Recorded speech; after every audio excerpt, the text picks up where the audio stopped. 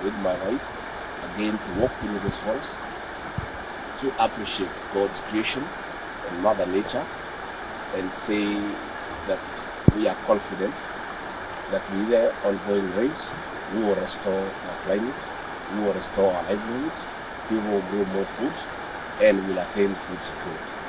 I want to urge all the people around this area to continue preserving this forest because this forest is our lifeline. It has seen us through for many years, and I have no doubt in my mind that once we continue this preservation, God being gracious, giving us rain, this forest will continue to be a blessing to the people not just of this region, but the whole country. Uh, we thank God this morning, walking through deep into the Mount forest, where we were born and brought up. Came on the connection journey to this forest, biggest water catchment area serves this region. And we are grateful to God for the rains. We are so happy that our river is back. You can hear the sound of the savannah. You can see the way the trees are growing. And this is a sign of life. We really want to thank God for the rains and we pray for continued rains so that we can continue preserving this forest as a water catchment area. Again, I want to thank the people of this area for preserving this forest. As you can see, this indigenous forest is intact.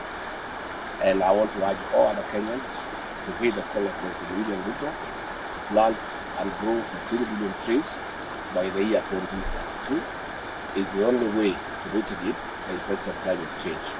This is a good reconnection for me, given that my parents, late Mother Teresa Gachagua and Celebration Gachagua, spent years in this forest, fighting for the liberation of this country.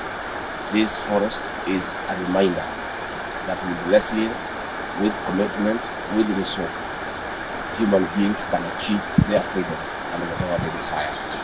It therefore encourages me that the next liberation, the economic liberation of this country, God and the people of Kenya have given me an opportunity to assist President William Ruto in the next liberation, the economic liberation of this country. The sound of the much waters and the greenery around is a testimony that God answers prayers. Those who did not believe, let them hear the sounds of the water, let them see the greenery of the forest, and it is a reminder that God still answers uh, prayers and God is on the throne.